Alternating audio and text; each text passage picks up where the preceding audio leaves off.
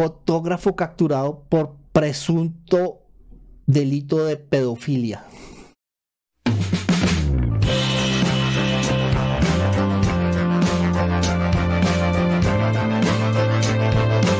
Reconocido influencer colombiano fue capturado por pedofilia. Bueno, más exactamente aquí tendrían que haber dicho por presunto delito de pedofilia. J-Boxing transmitió cuatro videos en los que se veía el abuso sexual contra menores y Google lo denunció. Esto sí me parece muy interesante de Google, que no permita que personas que están cometiendo esta serie de delitos utilicen su plataforma o las diferentes alternativas que tiene Google, como el tema de Google Drive para guardar videos y ese tipo de cosas, para que sean utilizados para esto. Esto sí me parece algo deslenable, bochornoso, despreciable. En aras de seguimiento en redes sociales, páginas de internet y hasta en la dark web le permitieron a un grupo de investigadores de la Policía Judicial DIJÍN y la Oficina de Investigaciones de Seguridad Nacional de los Estados Unidos ubicar a un pedófilo quien fue denunciado por la plataforma Google por almacenar en sus dispositivos y perfiles varios videos con contenido de abuso sexual a menores de edad. Qué asco. Qué asco esta persona. De verdad, si esta persona está con esas prácticas, es asqueroso. Y no, no, de verdad, qué asco. Se trata de Jason Whitney Rodríguez, de 27 años, conocido como J-Boxing, quien posaba de influencer y fotógrafo, por eso es que lo trajimos hoy acá, en Villavicencio Meta, donde fue capturado.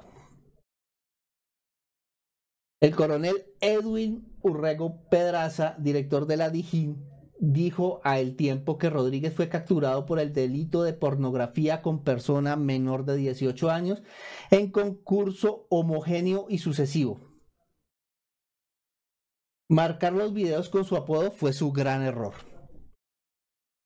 Este delito se le imputó tras haber evidenciado que J-Boxing transmitió desde territorio colombiano hasta los Estados Unidos cuatro videos en los cuales observaba claramente el abuso sexual al que eran sometidos niños y niñas, dijo el coronel Urrego. Muy complicado el tema. Muy, muy complicado, de verdad. Con niños, con nuestros niños no, de verdad, con nuestros niños no. Tras de que muchos fotógrafos ya tienen muy mala fama, por manilargos y por ser los llamados chochógrafos que tratan de embaucar a las personas para sobrepasarse con ellas, ahora llega esta belleza. J-Boxing apareció en el radar de las autoridades estadounidenses cuando el Centro Nacional para Niños Desaparecidos y Explotados de los Estados Unidos denunció ante la Oficina de Colombia de la Agencia de Investigación de Seguridad Nacional la transmisión desde territorio colombiano de material audiovisual que evidenciaba la explotación sexual de niños y niñas y adolescentes. El error del influencer, de acuerdo con los análisis estadounidenses, fue que los cuatro archivos transmitidos contaran con un nombre en particular, a diferencia de los millones de archivos que se transmiten a diario, los archivos transmitidos por alias J-Boxing tenía precisamente este nombre. Se lee en el dossier en su contra. Esta situación llevó a los investigadores a considerar que dicho material posiblemente se utilizaba para alimentar las bases de datos de una empresa de Internet con este material pornográfico. Manejaba varios perfiles en redes sociales.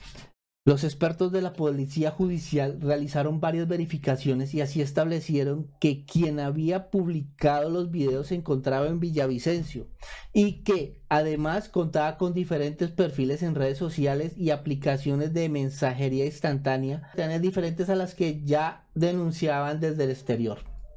A través de dichos perfiles, J-Boxing promocionaba servicios de fotografía y producciones audiovisuales. Lo que se convirtió en un factor determinante para dar con su ubicación a la mayor brevedad posible y evitar algún tipo de afectación a la comunidad infantil de su entorno cercano, destacó el coronel Urrego. ¿Ah? Él utilizaba, de acuerdo a lo que estamos viendo, él utilizaba como fachada el ser fotógrafo para poder así acercarse a sus víctimas o presuntas víctimas y con la excusa de que era fotógrafo empezar a contactarlos y luego llevarlos a temas de videos mucho más comprometedores y mucho más complicados.